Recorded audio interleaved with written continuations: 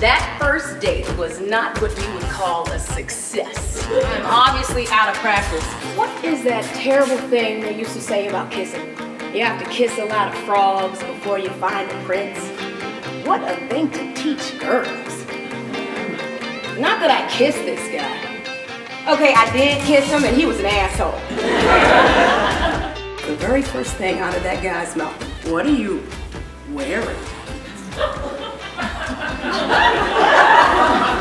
Can you believe that?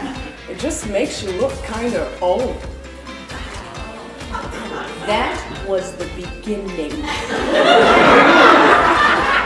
you have got to be kidding me. Men are out there running around thinking that shit's okay.